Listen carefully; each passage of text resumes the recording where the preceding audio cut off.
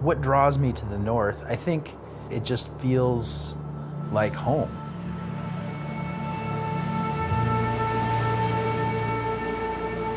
After leaving Washington, D.C. and trying, really, I think the goal was to get as far away from Washington, D.C. as possible, which led me to Churchill.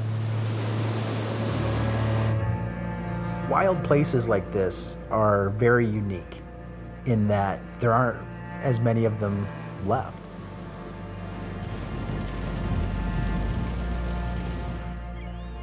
Places like this are disappearing at an incredible rate. Being able to bring people out to see a polar bear, to see a beluga whale, inspire them to, to save places like this.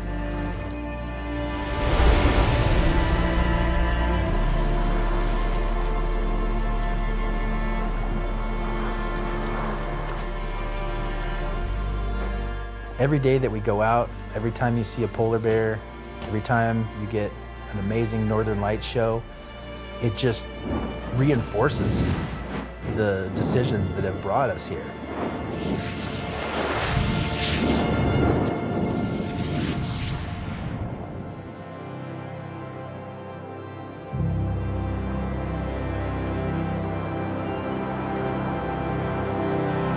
I think my purpose is to help people leave behind all the things that I left behind.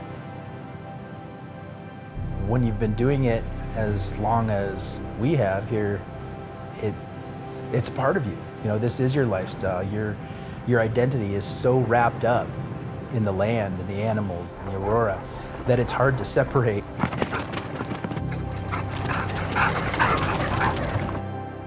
You don't always have to be striving to climb that ladder. Like there is a place for you. There is a place that fits.